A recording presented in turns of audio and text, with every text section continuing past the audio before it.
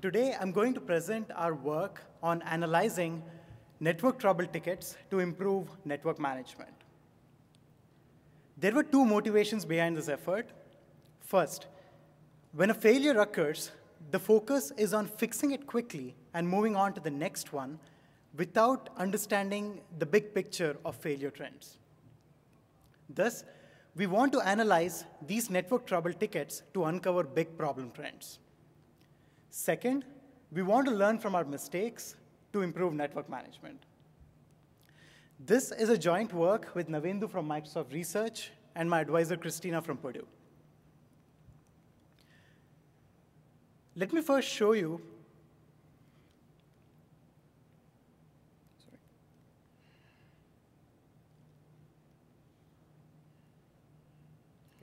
got a minute there. Um, let me first show you how network troubleshooting is done today.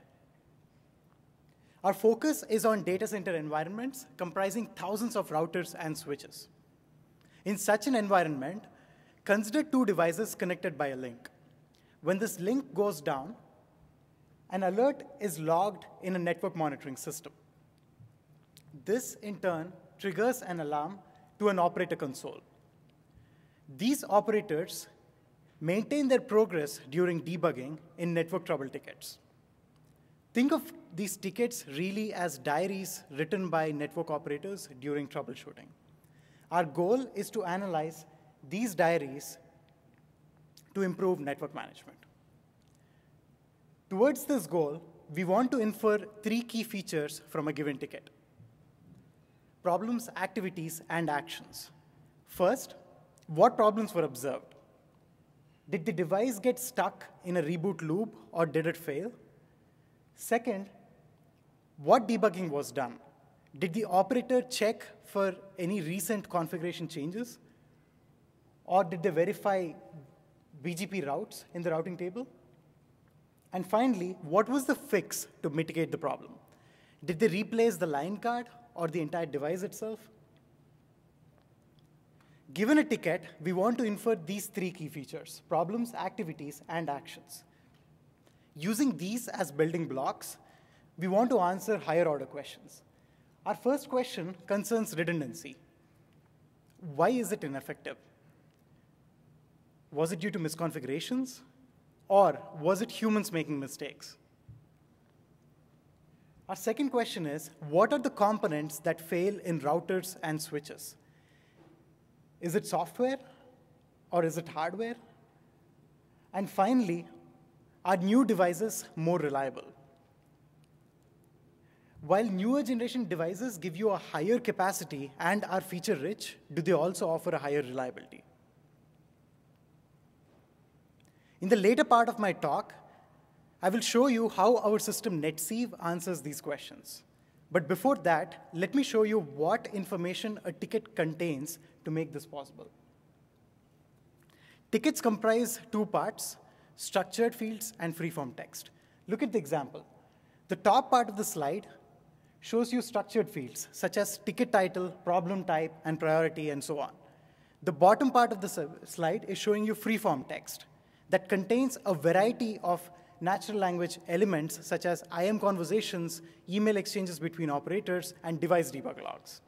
Our goal is to use this information to extract the key features that I talked about, problems, activities, and actions. Now, what makes this problem fundamentally hard are two key challenges. First, structured fields are often coarse-grained or inaccurate and incomplete. In a large measurement study that we conducted, we found this to be the case in 69% to 75% of the tickets. Hence, we cannot use these structured fields for inference. The other part is free-form text, which contains a variety of elements, such as IM conversations and email messages. As you expect, these are written in natural language. They come with typos, ambiguities, and grammatical errors. They also contain domain-specific terms, which may not even exist in the dictionary. Therefore, interpreting this free-form text is difficult. Overall, structured fields cannot be used for inference due to its high inaccuracy. And if we do use them, we risk making the wrong decision. Hence, our focus is on using this free-form text to infer problems, activities, and actions. Towards this goal, we make three contributions. First, we did a large-scale study on over 10,000 tickets to analyze the challenges in mining these trouble tickets. Our main results are that structured fields are highly inaccurate and cannot be used for problem inference. The, this, the free-form text makes it challenging to interpret for, for further interpretation and problem inference. Towards these challenges, we have built our system NetSieve that takes a semantic-based approach to extract three features. What problems were observed? Did the operator notice a firewall failure? Second, what debugging steps were carried out? Did they notice a change in the configuration file recently? And finally, what fix was applied to mitigate the problem? Did they replace the hard disk? We have evaluated NetSieve on a large ticket data set, and overall, our system achieves a reasonable accuracy. Till now, I've described our problem of analyzing network trouble tickets. Next, I will show you why strawman approaches are ineffective in analyzing free-form text. Next, I'll show you how our system NetSieve addresses these challenges. Finally, I will show you our evaluation results and conclude. Remember, our goal is given a ticket, we want to extract three key features, problems, activities, and actions. Recall from my previous discussion that freeform text consists of a variety of elements, such as IM conversations, emails, device debug logs, and so on. The first strawman is to use natural language processing techniques. But note that these techniques work only on well-written text, such as news articles. The second strawman is to select a set of keywords, but it ignores context. For instance, consider the sentence in red. If you select cable as a keyword, you miss the fact that the cable has been replaced. Consider the sentence in blue. It is not very clear if the ticket is in fact due to maintenance. The third strawman is to cluster tickets based on selecting keywords. However, note that it takes significant time and effort to build this keyword list for tens of thousands of tickets. Now, I will show you how our system NetSieve addresses these challenges. NetSieve takes a semantic-based approach towards this problem to infer problems, activities, and actions. The system operates in two phases. First, we want to build a knowledge base that contains phrases that are important in the current domain, which in our case is the networking domain, and then use this knowledge base to extract the three key features from a given ticket. Let me first give you a bird's eye view of how the knowledge building phase works, and then I will discuss each step in detail. Think of knowledge base really as a technical dictionary. Given a ticket, you would look up each word, each phrase inside the technical dictionary to understand its semantic or meaning. Therefore, our goal then is to first build this knowledge base or the technical dictionary and then use it to extract problems, activities, and actions from a given ticket. To achieve this, we use three steps. First, we find frequently occurring phrases from a given set of tickets. The intuition is to find text that operators frequently use to describe problems across a large number of tickets, such as the example shown here. For instance, power supply unit is faulty or the access router is inoperative. Next, in the second stage, we want to determine which of these phrases are important in the current networking domain. Therefore, with the exception of the last sentence, everything gets marked as important because they can be used for problem inference. In step three, we are interested in attaching a semantic to each of these domain-specific phrases to understand what they really mean. NetSieve, using an ontology model, attaches entity to the power supply unit and state to the, to, to the phrase faulty. Let me summarize. First, we find frequently occurring phrases. Then, we extract what are the important phrases in the current domain. And finally, we attach a semantic to each of these phrases. Now, let me discuss each step in detail. Our first step is to extract frequently occurring text. The intuition is to find text that is frequently repeated by operators across a large number of tickets to describe problems. This problem is equivalent to extracting all possible n-grams from the given input, where an n-gram is a contiguous sequence of n words. When we applied standard techniques for n-gram extraction from natural language processing, we found several challenges. First, they were computationally expensive. Second, these tools have numerous thresholds and fine-tuning them is hard. And third, not all n-grams are useful, as some of them are noise. Our key idea to address this challenge is to trade completeness for scalability. What do I mean by this? Well, we apply a data compression algorithm to extract the set of repeated phrases. The intuition is that data compression algorithms are very good at detecting redundancy in the given input text. Specifically, we apply the compression algorithm LZW to the given input and then extract the dictionary that it constructs, which contains all these repeated phrases. However, this dictionary does not contain the frequencies, and therefore we use a second step to compute this frequency. At the end of the stage, we get a list of repeated phrases along with their frequencies. In step two, we are interested in finding out which of these phrases are important. However, there are two key challenges. How do you filter meaningful phrases from the noisy ones? Of course, you can leverage the help from a domain expert, but it takes significant time and effort to label these phrases. To address this challenge, our key idea is to apply a pipeline of linguistic filters to the input and then rank the remaining phrases by using information theoretic measures. Consider the example shown on the right. The first three phrases are tagged important at the end of the stage, whereas the last three are noise because they are not technical words and they are not useful in doing problem inference. Note that by using these filters, we were able to significantly reduce noise by several orders of magnitude. Starting from 19 million phrases, we got to about roughly 5,000 important phrases. We give this small set of important phrases due to a domain expert for further labeling.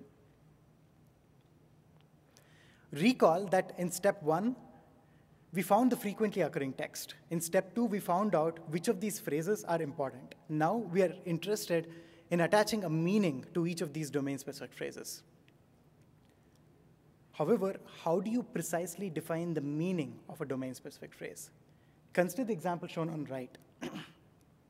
what is replace? What is line card? Given these two words, how do you link them up together?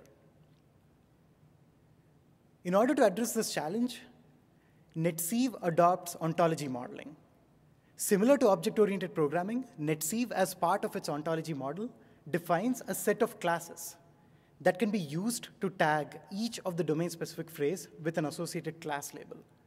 The intuition is that given such an ontology model, a domain expert can now tag the input with associated class labels. To give you an idea, let me discuss three such classes from our ontology model, entity, action, and conditions. Think of entities really as nouns. For instance, flash memory or core router. Think of action as a verb. For instance, reboot or replace. Example, core router can be rebooted. Therefore, reboot is an action. And finally, think of conditions as adjectives. For instance, hung state or a bit error. Now, a domain expert given such a model will now be able to tag the input as follows. Replace can be tagged with the class label of action occurring on an entity called a line card. Let me summarize. First, we extracted frequently occurring phrases. Then we found which of these phrases are important. And then finally, we attached a meaning to each of these phrases. At the end of the stage, we have a list of domain-specific phrases along with their semantic. Let me put all of this together and show you how NetSieve analyzes its given input. Consider the example sentence shown on the slide. In the first step, Netsieve tokenizes this sentence into this input into various sentences. Using its knowledge base, Netsieve now finds all the domain-specific phrases inside the given input. And using the ontology model, in step three, it labels each domain-specific phrase with its associated class label. For instance, device gets tagged as a replaceable entity, and as you expect, hung state is a problematic condition, and hence it is labeled problem condition. Similarly, for the second sentence, and, and in the third one, power supply unit, again, as you expect, is a replaceable entity, and then replaced is a physical action. Now let me show you how Netsieve performs problem inference to extract three key features, problems, activities, and actions. Taking cues from the English grammar, we have defined a set of rules to do this inference. The intuition is that a rule such as entity precedes or succeeds a problem condition can be used to extract the problems observed in a given ticket. Let me revisit the example from the previous slide. Recall that Netsieve parsed the input, tokenized it, marked all the domain-specific phrases, and then tagged each one with their associated class labels. Now, using the rule for problems, Netsieve is able to infer that the problem is a device in a hung state, power supply unit is faulty. Similarly for activities and actions. Now that we have seen how Netsieve works, let me show you the evaluation results. Our two main goals were to evaluate accuracy and usability. For the former, we use percentage accuracy and F-score. For the latter, we compare the time to read a ticket manually versus the inference output. Our dataset consisted of over 10,000 tickets, and as ground truth, we have labeled roughly, we have used roughly 1,000 tickets labeled by a domain expert as ground truth. We compare expert-labeled problems and actions with Netsieve inference output. Let me show you the accuracy results. The top graph is for problems, the bottom graph is for actions. The x-axis shows you the category to which each ticket belongs to. The y-axis shows you the percentage accuracy. Higher numbers are better. Notice that in most cases, Netsieve is able to accurately infer both problems and actions with a perfect accuracy of 100%. Overall, our system achieves a reasonable accuracy. Now, let me show you how we applied Netsieve in the real world. Remember the three questions that I posed at the beginning of my talk? Our first question was concerning redundancy. Why is it ineffective? The common view is that it could be because of misconfigurations. By applying Netsieve on the input set of tickets, we found three main causes. Faulty cables between primary and secondary, software version mismatch, and misconfigurations. The idea is that this list can now be used to proactively test for redundancy. Our second question was, what are the components that fail in routers and switches. Using Netsieve, our findings indicate that line card failures, defective memory, and supervisor engine are the three most failing components. And finally, are new devices more reliable? The intuition is that newer generation devices give you a higher capacity and are feature rich, but do they also offer higher reliability? Using Netsieve, we found two surprising findings. First, a new generation access router was found to be only half as reliable as its predecessor due to both hardware and software problems. Second, software bugs dominated failures in a type of load balancer, which were mistaken to be hardware bugs for more than a year. Overall, Netsieve was very promising in answering these important questions. Let me summarize what I have presented in our talk today. Recall that our goal was to analyze the natural text inside trouble tickets to infer useful information for improving network management. Towards this goal, we have built NetSieve that takes a semantic-based approach.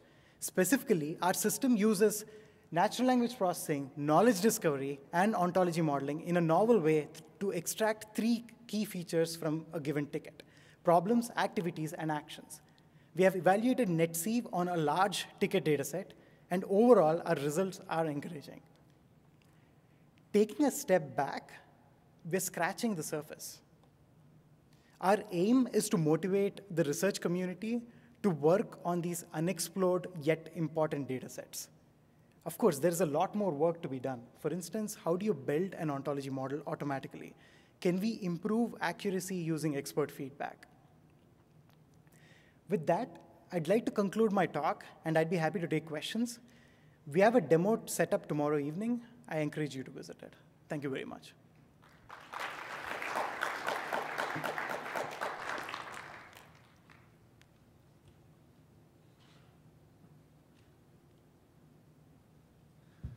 Yan Chen from Northwestern University. Uh, very interesting work, Rahul. Um, I'm curious, like whether you have thought about uh, applying the techniques in other domains. For example, you know, if you have security logs from intrusion detection system or firewalls, um, can you apply this uh, to analyze them as well? Sure. So the question is, can NetSieve be applied in a different domain? So the NetSieve has uh, three main steps in actually how it analyzes the given input. First, it finds repeated phrase patterns, then it finds important phrases, and then attaches a semantic to it. These techniques are general enough to be applied to a different domain, and we did apply NetSieve in other domains. However, I would like to, in all honesty, I would like to perform a more thorough evaluation before I claim a broader applicability. Okay, uh, one last question. I, do you plan to put your system available? Like um, release? That's an interesting question. So the question is, can an, uh, will we release the source code of NetSieve? So uh, I did this work as part of, an, of my internship at Microsoft Research, and they own the IP for it. Okay, that's good. Thank you. Hi, um, Ahmed from UIC. So first of all, great work, nice presentation. So quick question. So uh, did you perform an analysis to figure out like, whether two errors are related to each other, like solution of one error leading to another error, which are related. Okay. So the question is, did we perform any kind of a correlation between the errors that are happening, in fact? So uh, if, if, you, if you recall the use cases that I was discussing, so one of the key findings there was why network redundancy is ineffective. So what we did in order to you know, do the like per, per perform the analysis was first find out what tickets were concerning uh, you know, redundancy fa failures. In fact, once we had this candidate set of tickets, we started analyzing the problem inference output of NetSieve. So what we found was essentially this is sort of a correlation analysis that we did, and I agree it's only one part of the entire work, where we found faulty cables were actually responsible for causing redundancy to fail in most cases. So, thanks. Sure. Uh, hi, Abhishek Sharma from NEC Labs. Hi. I think part of my question you already answered, but I was trying to understand how crucial is the domain expert to this, because typically in data mining, what people do is that they'll look for some frequent patterns, then do some association rules. Right. So some of this seems to, so did you try to compare this where you took out the domain expert and maybe even just just did some association mining and then try to do it? That's an excellent question. So the question is, uh, did we use other data mining based techniques to, you know, compare NetSieve's output? In fact, so um, we have explored other standard techniques in the domain. For instance, frequent item set mining. However, um, we wanted to take a different route towards this problem, which is basically a semi-supervised domain-specific approach, where we really wanted to build some kind of a knowledge base that can be used for problem inference. And this is a problem in most unsupervised techniques, where, for instance, in uh, consider the Strawman approaches that I was discussing, in fact. So there we discussed some approaches based on a set of keywords. The problem with using such general you know, like approaches that have a general applicability is that it, it is hard to make any sense out of the output, which is what we wanted to solve by building a domain-specific system. Uh, Thank you. Thanks. Uh, Ravinder from UIUC. Uh, great talk. Uh, a big problem with natural language processing uh, work uh, that I've seen earlier seems to be this problem of negation with, you know, the, this cable was not found to be faulty and X, XYZ was done. Uh, you have very high accuracy. I was wondering if that was not a big issue in this particular domain or We, okay. So the question is, how, how much did negation actually affect us in the NetSieve accuracy analysis? Okay. So um, taking a step back, there are three key limitations of our system, which are discussed more in detail in the paper. So NetSieve relies on certain natural language processing techniques, and therefore is subject to certain limitations that they have. For instance, it cannot handle complex negations. It cannot handle anaphoras. For instance, if a device such as a router is being referred to as this, so someone says the router has been replaced, and after a thousand lines or something, if they say that this device has not been replaced or the replacement did not go through, then NetSieve fails there. And third, truth conditions. We found cases where an operator was actually saying, please replace the router once you have more routers in stock. Right. It was not really clear if the ticket uh, you know, actually handled the situation or not. We do handle simple negations, which we describe in the paper, but complex negations, yes, this is one problem that needs to be addressed. Thank you for the question. Thank you once again.